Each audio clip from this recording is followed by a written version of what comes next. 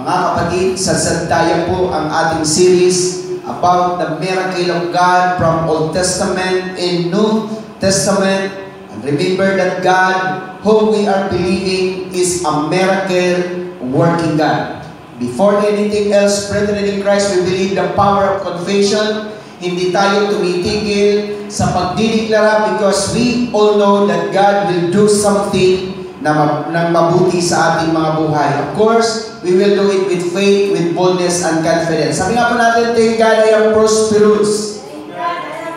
Because I'm blessed by the Lord, greatly blessed, extremely blessed, highly favored, deeply loved. Sabi natin, thank God I am your child. I cannot be denied. I am your beloved. Everything in my life is well. Sige, mas malakas dyan. Sabi mo, my life is well. My family is well. My job is well. My business is well. In the presence of God, nothing is missing. Nothing is broken. Sabi natin, all is well. Sige, palapakan natin si Jesus.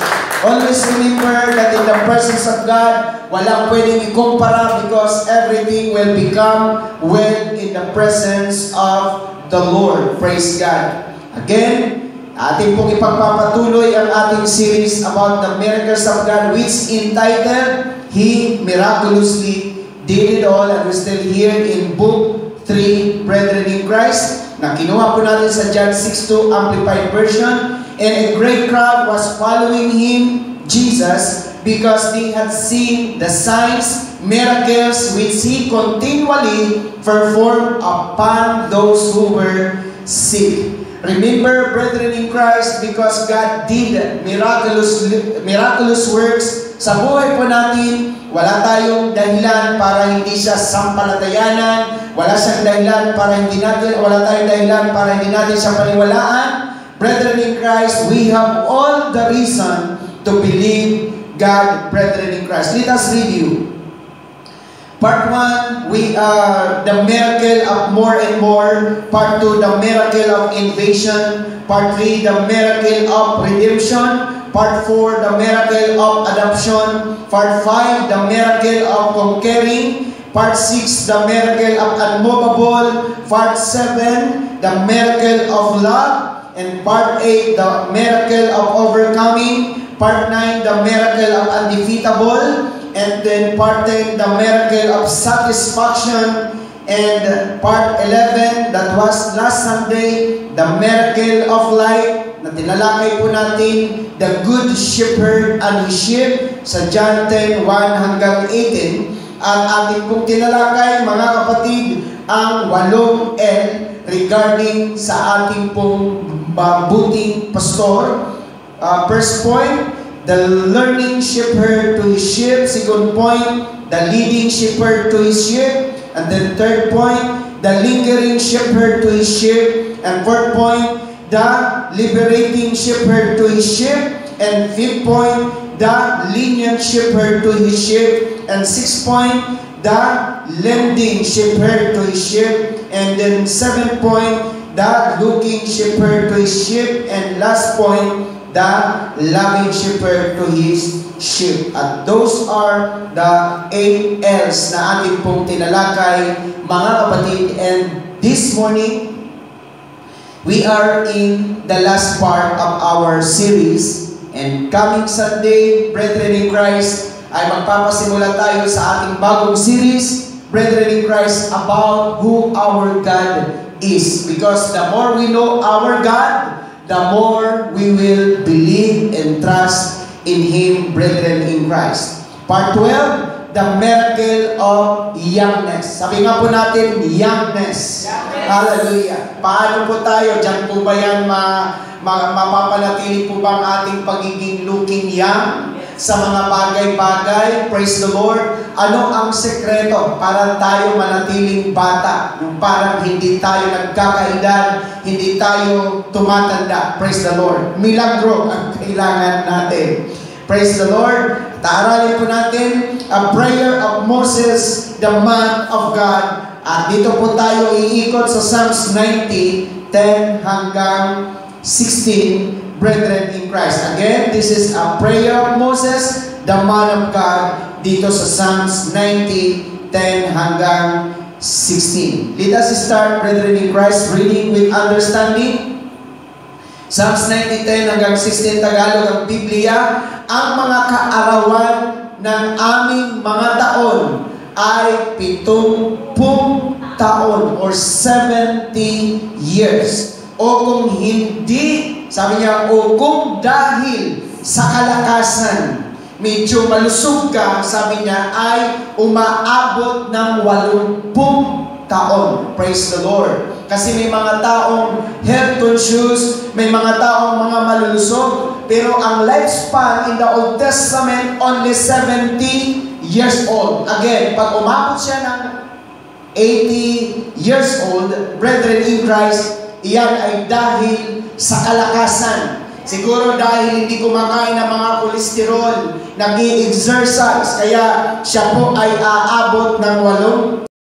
Ang kanilang kapalaluan ay hirap at kapanglawan lamang sapagkat madaling napapawi at kami ay nagsisilipan. So here, brethren in Christ, tandaan po natin, ang lifespan ng tao is only 70 years old. Pag umabot ka ng 80, iyan ay dahil sa biyaya at kalakasan ng ating Panginoon. Amen?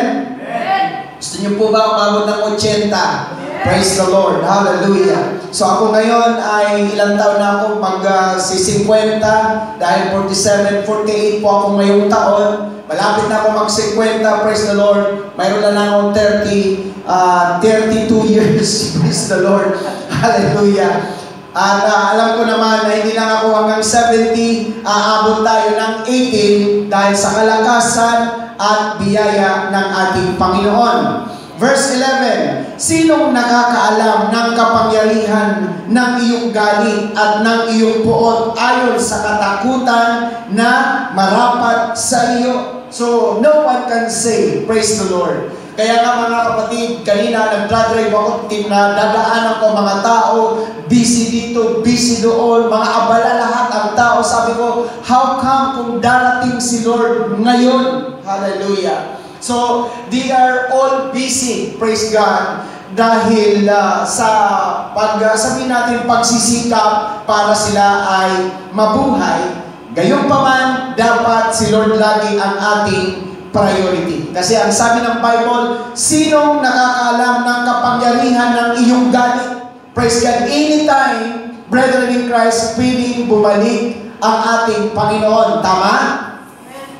Hoping na madatnan tayo ng Lord na nararapat sa Kanyang harapan. 12. Kaya ituro mo sa amin ang pagbilang ng aming mga kaarawan upang kami ay mangagdamo sa amin ng pusong may karunungan. Kumbaga, ang sabi dito, mga kapatid, ay ituro mo sa amin na dapat sa bawat araw, uh, parang satisfied tayo. Hallelujah. Sabi ko nga, baka lilipas, lilipas ang isang araw na hindi man lamang natin na paglingkuran si Lord, hindi man lamang natin na pasalamatan si Lord, hindi man lamang natin siya natawagan, mga kapatid, wala, walang kwenta ang ating araw. Kaya sabi ni Moses, ituro mo sa amin na magbilang ng araw na dapat bawat araw satisfied tayo kasi hindi natin nakaligtaan at nakalimutan ang Panginoon. Kaya sabi dito mga kapatid, hallelujah, uh, mangagda mo sa amin ng pusong may karunungan. We need wisdom. Sabi nga po natin, wisdom. wisdom.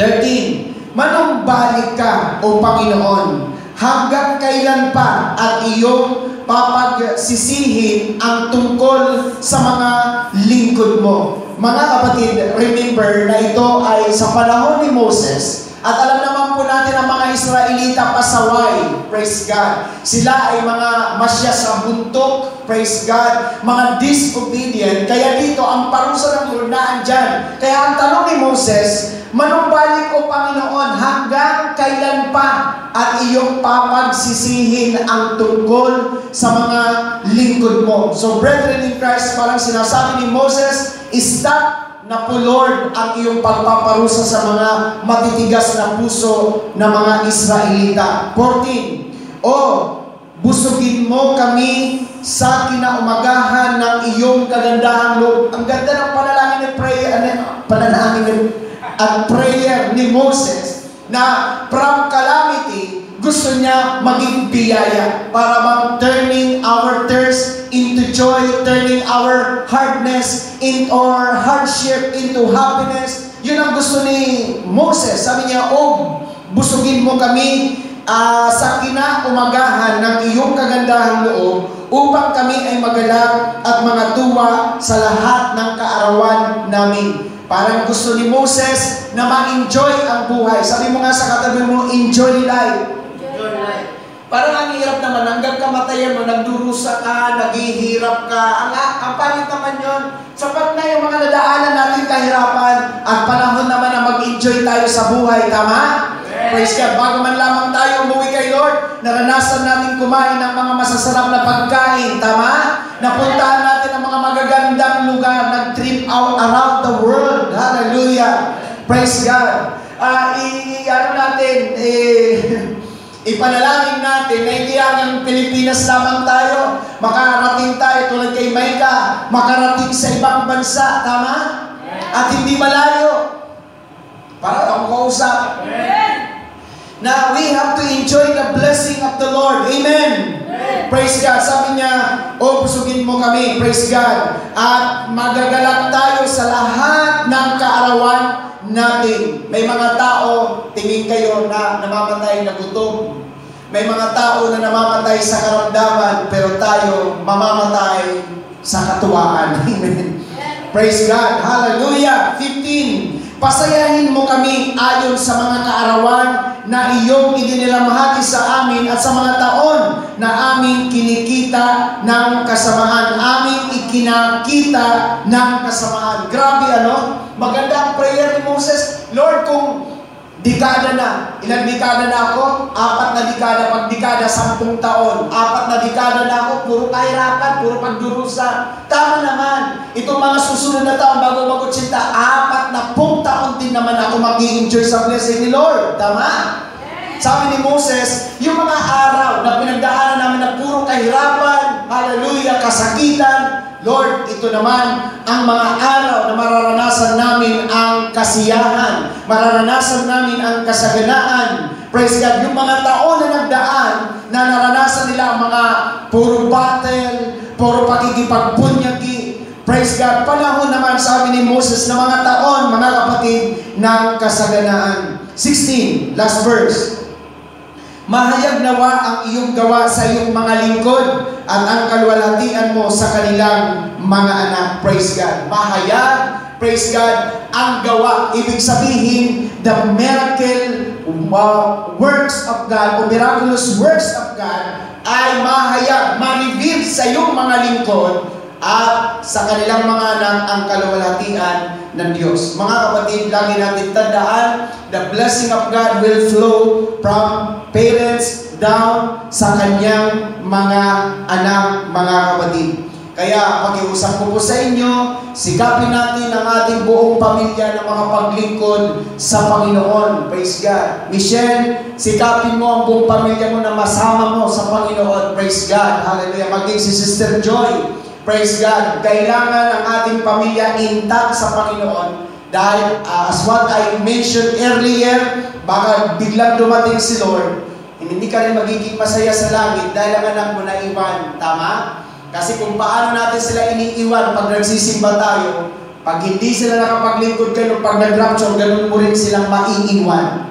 Praise God. So let us do our utmost best na maisama natin because we are responsible sa ating pamilya. Mga kapatid, hallelujah. Sigapin natin na maisama natin ang ating mga anak, ang ating asawa, ang ating mga kasambahay, lahat ng mga nakikituloy sa bahay natin, sikapin natin na madala sila sa ating Panginoon. Praise God. Kaya, ang pagkahayag ng gawa ni Lord ay hanggang sa kanyang mga lingkod, hanggang sa mga anak ng kanyang mga lingkod. Psalms 1912 BBE translation, So, give us knowledge of the number of our days. Sabi niya, that we may get a heart of wisdom. Kaya mahalaga ho, mga kapatid, inaaral natin ang ating buhay. Sabi ko nga, marunong tayo mag-time management. Mayroon tayong 24 hours, tama? Sa isang araw. Sa 24 hours na yon, ilan ba ang itinulog mo? Ilan ba ang ipinagtrabaho mo? Ilan ba ang ipinagpahinga mo? Ilan ba doon ang kay Lord? Ilan ba doon ang para sa inyong pamilya? Mga kapatid, kung ating pong pagbubulay-bulayan, halos wala tayong oras sa Panginoon. Laging siya ang walang oras. Kaya kahapon, nag-ano kami, nagdi-delivery kami ni Archie. Sabi niya na, uh, paano niyang pastor pag nagkatrabaho ako, hallelujah, hindi na muna ako magkukumit. Kasi alam niyo po mga kapatid, ganito yon. Maglilingkod tayo kay Lord, hindi dahil sa may natira tayong oras Maglilingkod tayo kay Lord dahil ipinaglaan natin siya ng oras. Kasi kung leftover lang ang kay Lord, eh, wala talagang matitira, mga kapatid. Hallelujah. Kaya kita niyo po, yung mga tao, mga kapatid, why they are struggling in serving the Lord? Bakit sila hirap, walang oras sa paglilingkod kay Lord? Kasi ang totoo, hindi nila binigyan ng oras. Iniisip nila na kung may matitirang oras, Oh Lord, sige, paglilingkod ako pag mayroong oras. Hindi mga kapatid, ipinaglalaan si Lord sa oras sa time management, put God your priority. Hallelujah. Kaya nga ngayon mga kapatid, salamat, nakapag-resign na po ako. Sabi ko, may araw na ako na ilalaan para sa church, para sa mga membro, para sa pangangaluwa, para sa pagbisita. Dahil kailangan may oras tayo kay Lord. Tama? Hindi puro atin ang oras, mga kapatid. Time management, kaya nga sabi po dito, give us knowledge and number of the number of our days that we may get a heart of wisdom. Dapat maging wais ka. Kasi, mga kapatid, baka pagharap natin kay Lord, anong ginawa mo ng lunes? Trabaho. Martes. Nako, hanggang naubos ang linggo, wala man lamang nabanggit, naglingkod ako, Lord, nangaluluwa ako, Lord, nag-follow up ako, Lord, nag-cell group ako, Lord. Wala man lamang tayo maire-report na ganyan. Bakit? Kasi nakakalungkot man sabihin, mga kapatid, maraming mga tao na kulang ng oras sa ating Panginoon. Maging wise tayo, mga kapatid, sa araw-araw na ibinibigay ng Diyos ng ating buhay. Tingnan natin, mga kapatid, sa pre- uh, preacher's note. How to have wisdom for living young. Yan ang maganda. Gusto niyo bang uh, maging kamukha ni Sister Joy na nagkakaedad pero bata pa? Tingnan, tama? Nakita mo ba si Pastora Ses Talatad? Si Pastora Ses Talatad, kaya yung mga maliliit cute, di ba? Hindi sila tumatanda. Praise the Lord. Uh, ano ba ang sekreto? How to have wisdom for living Iyan. At gusto naman ng lahat yan. Ang iba nagpapapaya, ang iba ay naliligo na ng gatas para magmukhang bata. Tayo, hindi man tayo maligo ng gatas, hindi man tayo magpapaya. Hallelujah! Pagka nasa kay Lord ka, you will stay young. Amen? Amen? Kasi ang kabaliktaran ng young, lose young. Praise the Lord. Hallelujah. Ayaw ko naman na makita na tayo ay maging lose young lahat. Tama? Praise the Lord. Tingnan natin. We need right perspective. Para ka manatiling bata, dapat tama ang iyong pananaw. Kasi kapag mali ang iyong pananaw, eh, ang buhay, mamamatay ka rin, sinikain ka dito ng kolesterol, kaya ka doon ng ano. Kasi mali ang perspektibo mo sa buhay, aba, mga kapatid, tatanda ka talaga ng maaga. Ang iba naman, we need right living, tamang pamumuhay. Praise God. Hindi ka pwedeng mag, uh, magiging lugyang na hindi tama ang iyong pamumuhay, ang routine ng iyong buhay. Praise the Lord. Uh, praise God. And then we need right exercises. Mag-exercise naman tayo tuwing umaga. Kaya bakit tayo nagkakasakit? Hindi na tayo nag-exercise. Kaya kita mo yung mga naglalakihan ng tiyan. Hallelujah. Isa na ako doon, hindi na makapag-exercise. Hallelujah. Sa probinsya, walang lumalaki ang tiyan. Bakit? Akyat-akyat, baba sa bundo, magbubuhat ng mga mabibigat talaga. Well, exercise sila. Eh dito sa Manila, halos sa mga tao, praise God, lalo na pag opisina ang trabaho nakaupo ka lang sa air condition. Hallelujah, talagang walang exercise. Tama? Mahalaga lang. Kayo, takbo-takbo rin kayo. Ikutin nyo itong Hinsonville pag umaga. Praise God. At ang pag-aralan ko mga kapatid, sabi ng isang doktor ni Doc Atoy, Ma, malaki pala ang tulong ng sunrise pagka kayo nga bata ay binibilan pag umaga, mga alas 7, alas 8. Kasi yung sunrise na, uh, sunrise na yan, nakakatulong pala sa health natin yan. Kaya kayo, mga kapatid, takbo. Praise God hanggang magbubukang liwayway, hanggang medyo marawang kayo. Magpaano naman kayo, praise the Lord. Kita mo ang halaman pag nasa loob ng bahay, ang daw, namumuti. Praise God, ganun din tayo. Pag hindi tayo naarawan, namumutla. Huwag naman magsabi mag-araw, mangingitim ka. Hallelujah. So, kailangan sakto lang. Tama? Ang tawag dyan ay we need right exercises. Exercise naman tuwing umaga. At then we need right atmosphere. Kailangan para hindi tayo tumanda, maganda yung ating environment, yung atmosphere, kasi kapag nasa lugar ka ng mga tao, hallelujah, Subukan nyo tumira sa mga taong mga, mga magugulo. Chismis dito, chismis doon, sugal dito, sugal doon, inuman dito, inuman doon. Doon ka tumira, tingnan ko lang, isang taong pa mukhang 50 ka na.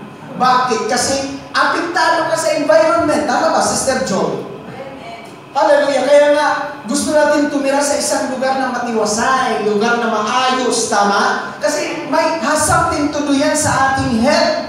Praise God, biruin mo, matutulog ka na lang, nagbibidyo okay yung kapitbahay mo. Paano ka makakatulog ng maaga? Praise God, hallelujah. O kung wala mang video okay, nagbubugbugan ng magkapitbahay. Praise God. So maganda yung maganda yung ating environment. Kaya sinikap ko talaga tumira sa uh, sa subdivision.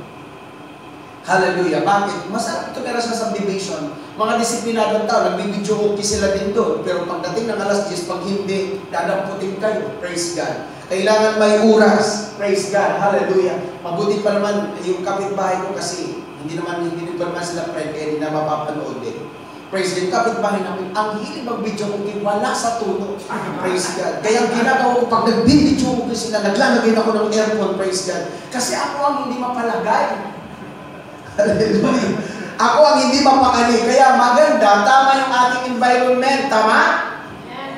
And we need right diet. Yan. Mahalagang diet. Kaya naman ng gulay, isda. Hindi puro putok-batok. Mga kapatid, yung mga kinakain natin, mga putok-batok. Praise God. Bibili ng Hallelujah.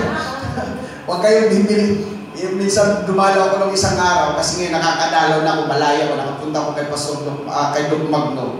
Nagpintuhan kami about the business, about everything. Praise God, pinaghain nila ako ng putok batok. Hallelujah. Pero ang sarap talaga pala, doon ako kumain ng masarap. Sabi ko, mukhang control-control kasi baka mukhang binibigat yung aking. Praise the Lord.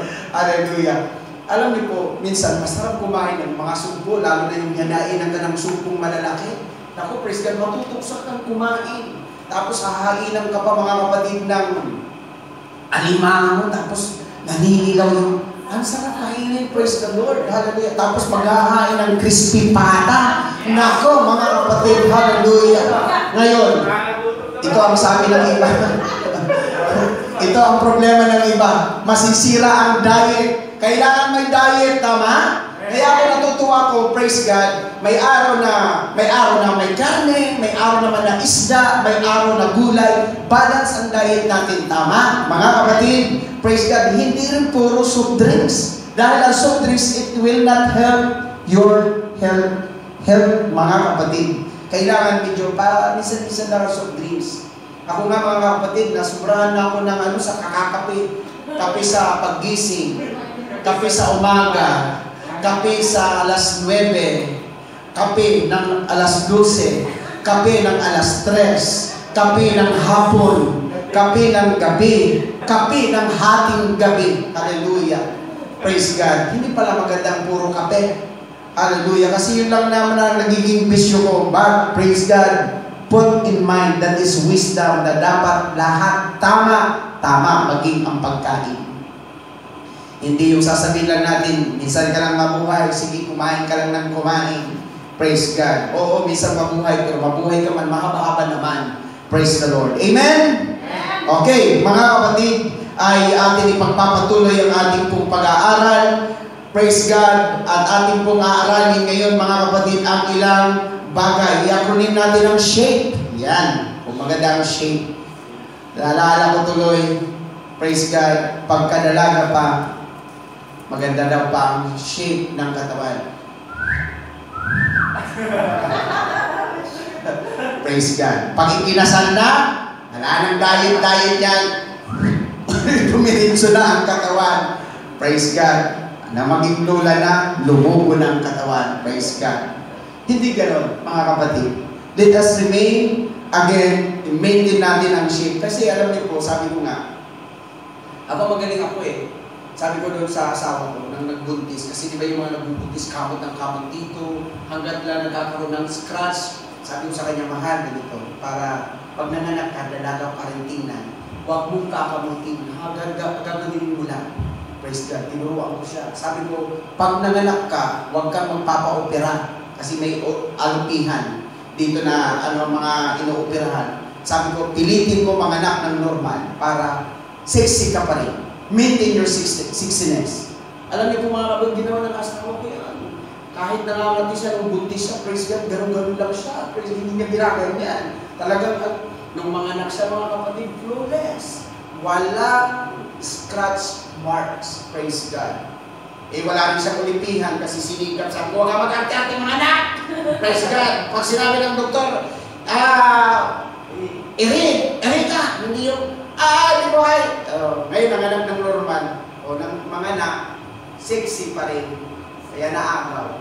Yes. Sana, hindi ko na tinuruan. Para, praise the Lord. Para ang daming scratch, ang pangit tingnan. Praise the Lord. Tapos pinakain ko na ng pinapara lumubo ang katawan. Praise God. Pero ganun pa man, Diyos ay mabuti. Amen? Acronym natin ang SHAPE. S stands for Satisfaction Make Us Young. Naniniwala ba kayo na pag satisfied kayo sa buhay, mananatili kang bata? Kaya kita mo yung mga problemadong tao, doon sila tumatanda kasi hindi sila satisfied sa buhay. Basta tayo mga kapatid, praise God. Nasa Bible po lahat yan. Hallelujah, satisfaction. Sabi mo po dito, Psalms 90:14, Oh, satisfy us with your mercy and loving kindness in the morning, now before we are older. Grabe, satisfy. Ang satisfaction, maging sa pagsasama. Sa mag-asawa, kung satisfied ka sa asawa mo, masaya ka. Ang hirap may asawa ka tapos hindi ka satisfied. Ang dami mong hinahanap. Kasi kulang-kulang, kulang. May, may, Kaya maghanap kayo ng boyfriend. Yung satisfied ka na sa kanya, yung wala ka nang hahanapin pa, tama? Hallelujah. Mahalaga yan, payo ko sa inyo mga kapatid. Be satisfied with your life. Sa ang satisfaction will remain ang mag, mag-stay sa'yo na manatili kang bata. Yung mga taong unsatisfied, maraming mga hinahanap, ang daming mga dinidiscover, aba mga kapatid, you will not be happy in your life. Kaya mahalaga ho, mga kapatid, ang satisfaction. At naniniwala po ko kay Lord, tayo ay satisfied. Amen? Palapakan natin si Jesus. Hallelujah. So sabi ng Lord, Oh, satisfy us with your mercy and loving kindness. Satisfy tayo sa kabutihan ni Lord. Hallelujah. Kaya kita mo yung mga asawa, praise God, na mga Lucian. Hallelujah. Hallelujah. Ito yung mga nag-asawa ng problemado sa asawa. Praise God. Aga-aga pa lang lasing na. Praise God. Hallelujah. Nambubugbog pa. Hallelujah. So, wag mo sabihin, babata ka dyan. Hallelujah. Maniwala ka. Mapalad kayo kung ang asawa mo mabait. Praise God. At satisfied ka sa asawa mo. Well, you will remain young. And uh, principle number two, agree ba kayo na happiness makes us young? Ang tao masayahin, bumabata. Amen? Amen po ba? Amen. Kaya di ba tinuruan ko kayo kung nahirapan kayo kumiti, gawin nyo lang, magbasag kayo ng itlog. Tabi mo yung dilaw. I-apply mo yung puti. Sa mukha, umarap ka sa salamin hanggang matuyo yung puti at bumiti ka. Pag natuyo na yan, maninigas na yun, hindi na Kahit na galit ka na kaganyan ka kasi nanigas na yung ano mo doon sa itlog. Kaya, kasi iba, ang hirap ngumiti. Alam niyo po ba mga kapatid na ang masayang puso nagpapaganda sa isang tao? Tama? Nakakita na ba kayo ng tao na problemado? Nakakita na ba kayo ng tao na parang kaaway ang mundo? Nakita mo na ba na parang ah, kulang na lang pampalaya ang mukha niya lagi? Praise God. Tatanda yung ganyan tao. Kaya laging masaya. Sabi sa mga katabi mo, masaya. Masaya. Sabi ng Psalms 90.15, Good News Bible, Give us now as much happiness. Maganda yung mayroong happiness. Maganda yung masaya tayo. Kaya learn to be happy. Sabi ko nga sa inyo, happiness is a choice. Kasi kahit mayroon ka, if you choose to be sad, magiging malungkot ka. Pero kahit wala ka, if you choose to be happy, you can be happy. Kaya piliin mo laging ngumiti. Tama? Tama? Maging masayahin tayo. Nagpapabata pa lang pagiging masaya. Praise God. Kita mo yung mga lukarit. Tingnan mo yung mga buang-buang. Tawa ng tawa. Walang problema. Praise the Lord. Kahit gutom, tawa ng tawa. Praise the Lord. Yan ang maganda. Hallelujah. Ang mga normal, pag gutom, hindi mapakali. Mga away na yan pag gutom. Huwag mo akong anong gutom ako. Praise God. Anong kinalaman ng iyong pagiging gutom? Praise God. Pero kailangan piliin natin maging masaya. Tingnan mo ang katabi mo kung masaya sa buhay. Maganda piliin natin ang maging masaya. Sabi nga po natin, masaya. Praise the Lord. Kaya masaya dapat ang buhay. Ako kita niyo kung pinipili ko, ang maging masaya. Kahit 50 lang tayo. Hallelujah. Amen? Pinipili ko maging masaya. Praise God. Alangan, magwawala ako dito. Praise God. Hindi. I will choose to be happy. Masaya na ako sa 50. Amen? Umalakpak nga po ang 50 congregation. Praise the Lord. Hallelujah. Amen. Kasi sabi ko nga, kung magpapapinto ako, aba mga kapatid, magkakadamay-damay tayo. Hallelujah. Wala na akong buhok, magmumukha pa ako matanda. Praise God. Sabi nga na ng iba, Pastor, mukhang hindi ka tumatanda. Ilan taon ka na ba? Sabi ko 47. Mukhang 46 ka lang. Sa taon na. Praise the Lord. Hallelujah. Kaya masarap ang laging masaya kasi bumabata tayo mga kapatid. Kaya kita mo ang mga asawang babae. Punta tayo sa mga mag-asawa. Pag masaya ka sa mister mo, hindi ka tatanda. Maniwala kayo. Kaya kailangan may kapipiliin mo yung sasaya ka. Hallelujah. Ang hirap mag-asawa na hindi ka masaya. Praise the Lord. Kasi pag nakita mo na siya, malungkot, nalulungkot ka pag nakikita mo siya. Acho na naman ini. Praise the Lord. Pray, pero pagka masaya ka, hallelujah, pati gusto mo lang yung kilay, pipinut-pinutin yung langit, because, wow, masaya ka sa kanya, tama? Ino mo, Sister Joy, kaya bata yan, masaya kay Brother Roque. Masaya siya. Hallelujah. Si, si Michelle, masaya kay Judas. Praise God. Hallelujah. Masaya sila, kaya nagbabataan sila. Mababait ang kanilang asawa. Praise the Lord. Hallelujah. Hindi sila inaaway. Hindi sila, ano pa man, they will provide everything. Amen? So happiness ay napakahalaga para mag-stay tayo ng bata. Principle number three, ambience makes us young. Binanggit ko na po kanina yung environment. Napakahalaga po yan, mga kapatid. Tingnan niyo po, yung mga nasa probinsya, ang ganda ng simoy ng hangin dito. Ang naaamoy natin kanal, ang naaamoy natin puso negro, ang naaamoy natin panghi ng kapitbahay. Hallelujah. So, masarap. Dito ayaw lumanghap eh. Kahapon galing ako sa bukid, ang sarap lumanghap pala ng hangin na sariwa, mga kapatid. Kaya, pag bibili kayo ng bahay, yung maganda yung may mga pananim, praise the Lord, nakakapagtanim kayo. Hallelujah. Ah, natuwa ko doon kay Pastor uh, Bagno. Kasi kinukumpleto nila ang bahay kubo. May mga tanim-tanim sila. Alam niyo naman po, pag may bahay kubo, may mga halaman. May talong, may okra, lahat ng nasa bahay kubo. Praise God. So mahalaga yung ambience. Tingnan niyo po mga kapatid, kapag ang kasama ko lagi mga taong bata, bumabata ka. Tingnan niyo po yung mga nag-aasawa ng matanda. Halimbawa kahit 16 years old yan, nag-aasawa ng 75. Pagtagal ng pagtagal ng panahon, yung 60 na yun, magmumukhang 75 na siya kasi gumagaya yung itsura sa lagi niyang kasama. Tama? Praise God. Pero kapag ka ang kasama natin mga bata, praise God, babata tayo. Kaya pagka kasama natin mga magaganda, gaganda din tayo. Amen? Sabi mo nga, ambience. Basa tayo, praise God. Sabi niya, and let the beauty and delightfulness and favor of the Lord our God be upon us. Maganda yung makita natin ang kagandahan ng Panginoon. The beauty of His holiness. Praise God. Kapag ka nararanasan natin ang ambience sa Panginoon, nararanasan natin ang kanyang presensya, mga kapatid, yan ang nagpapabata sa atin. Kaya, soak yourself in the presence of the Lord. Lagi tayong makaranas sa presensya ng Lord because the beauty of God and delightfulness and favor of the Lord our God be upon us. Kaya kita niyo po mga kapatid, di ba? Iba po yung mga tao. Bakit ang tao namamasyal, nagpupunta sa mga magagandang lugar? Kasi maganda yung ambience. It helps, praise God. Kaya nga pag may planning, maganda yung nandun tayo sa mala- malawak na lugar para malawak din ang ating mga pag-iisip. Kaya pag nakikita natin ang kalangitan, ako po mahilig ako dati sa probinsya makatulong sa bubungan.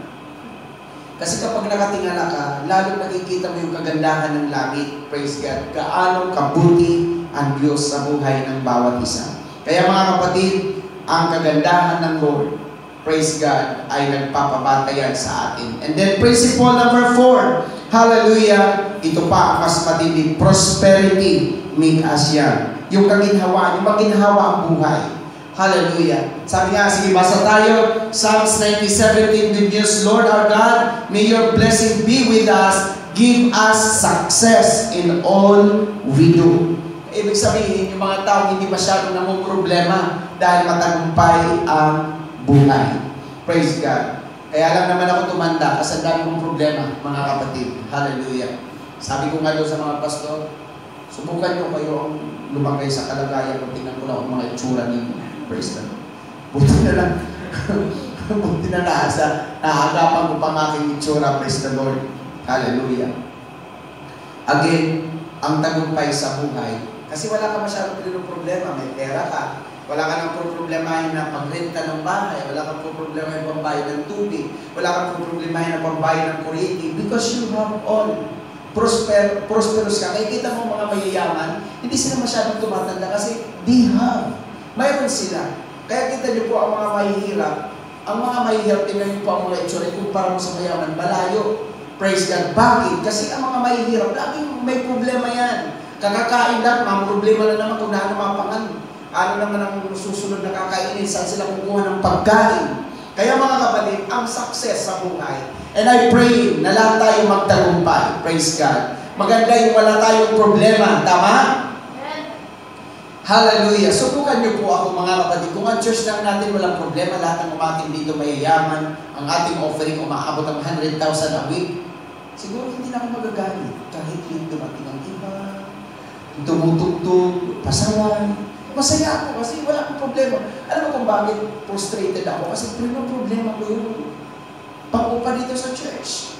Tapos ko dagdag pa, mga pasaway pa itong mga mga hallelujah. Amen. Praise God. Pero mabuti ang Diyos magpapasimula tayo ulit, mga kapatid. You don't have to worry. Praise God. Sabi mo nga sa katabi mo, tagumpay. Praise God. Maganda yung ating mga wallet makakapal, mga may laman. Hallelujah. Praise God. Hindi yung namumroblema tayo lagi kasi walang madukot. Maganda yung maraming nadudukot. Amen? Amen. Napanood niyo na po ba si, ano, si Rich? Sa, sa, sa TikTok ba yun? Sa TikTok. Yung sako-sakong pera yung bakon. Hindi niyo yata napanood. Praise God. Anong tawag niya? Anong tawag sa kanya? Si Rich, eh. Basta may Rich. Praise God. Pero pabaon dalawang sakong pera. Ang ganda naman nun. Sabi ko, Lord, magyari ito sa amin. Mag-o-offering si, si Michelle. Magpapabuhat pa pa. Kapit ba pakibuhat niya po namin, offering, hindi ko mabuhat. offering. At uh, sabi ko, hindi malayo, mga kapatid. Hallelujah. Kapag nagtagumpay tayo, wala tayong masyadong problema. Ang tao lang naman kaya tumatanda kasi ang daming problema. Pero pagka wala kang masyadong problema, mananatili kang bata. Principle number five. Hallelujah. Last point, brethren in Christ. Hallelujah. Extraordinary make us young. Yung extraordinary or milagro. Ito na po mga kapatid. Let your word, the sign of your power be revealed to your servant. Yung milagro. Pwede naman magpabata uh, mga kapatid yung milagro ng ating Panginoon. Pag milagruhan, praise God. Nagtawanan nga nung nag-preach ako dun sa kabila. Kasi sabi ko, ang turo ko, sabi ko, huwag kang mawawala sa deklarasyon. Pag nagdeklara ka na magtatagumpay ka, may pinagdaanan ka man, ang mukhang bibig mo, matagumpay ako. Kahit na medyo nagkulang ka, may pagkukulang, sasabihin mo pa rin matagumpay. So stay on what you have declare, eh, siningit ko, sabi ko ako, ako nga ako, hindi nagbabago ang aking deklarasyon, pupugi ako, pupugi ako, pupugi. Tumawag lahat ng mga tao. Praise God. Sabi ko, hindi ako nawawala. Bakit? Naniniwala ako na pupugi ako. Praise God. Amen? Pwede ba magmilagro si Lord na pumugi ako? Praise God. Hallelujah. Kasi may advantage po pala mga kapatid pag pugi ang pastor. Kaya gusto ko maging pogi. Kasi sasabihin ng mga believer, atin tayo, pogi ang pastor. ah, ba? Kaya lang tinugon ako ni Lord. Ang tugon ni Lord, with perfection come imperfection cease. Anong ibig sabihin nun? Pag dumating ang perfection, mawawala ang lahat ng imperfection. Kaya mangyayari yun sa langit. Sa langit pa pala ako pupugi. Yung makikita ko ni Sister Joy, sa langit po, hindi na ako sasabi ko, Sister Joy, ito na ako ngayon. Praise the Lord. O di at least, hindi pa rin nawala yung deklarasyon natin na pupugi tayo. Amen? Kaya mga kapatid, manatili tayong young. Sabi natin young. So, yung milagro ng Lord, praise God, hallelujah, ay patuloy na maranasan natin. Kasi, uh, ang mga mayayaman ngayon, mga kapatid, eh, may pera, kaya nilang magpaganda, magpa-ritoke. Praise God. Ako gusto ko iparito ko yung aking ilong para tumamos ng konti. Huwag lang sasabihin kasi baka pumunta yung ilong ko sa kaliwa o kanan. Hallelujah. Amen? Yung mga ritokado, ang dami ngayon.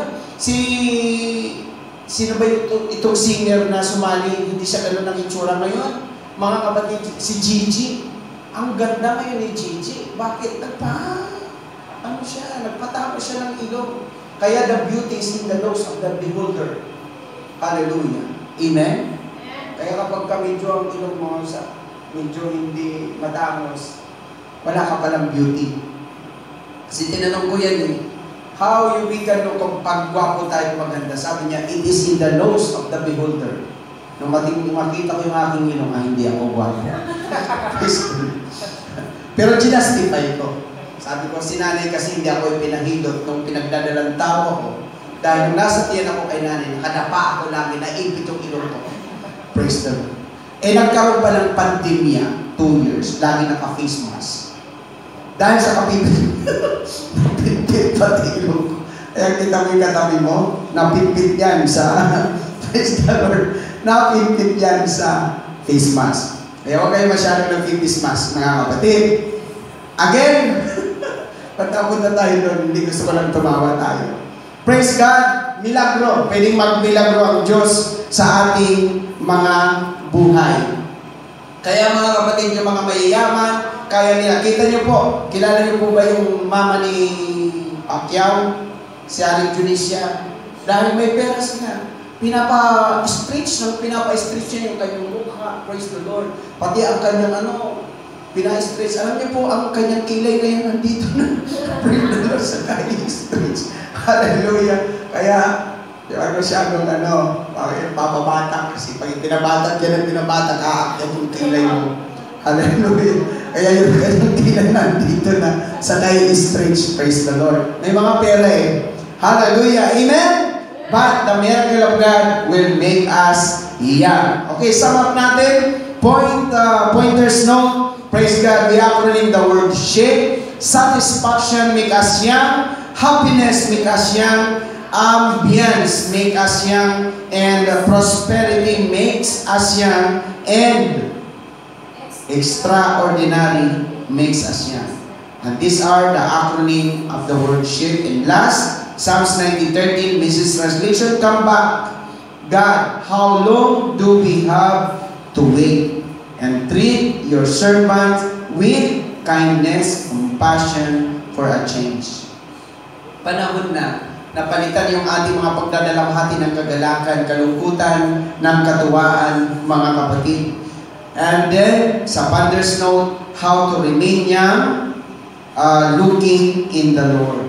Yan ang maganda. Let us enjoy His goodness.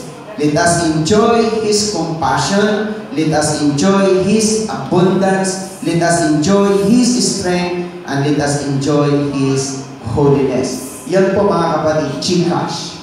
Mga kapatid, kailangan tayo ay mag-i-enjoy sa presensya ng ating Panginoon, mga kapatid. Sige po, tayong lahat ay tumayo, mga kapatid, sa kabutihan ng ating Panginoon.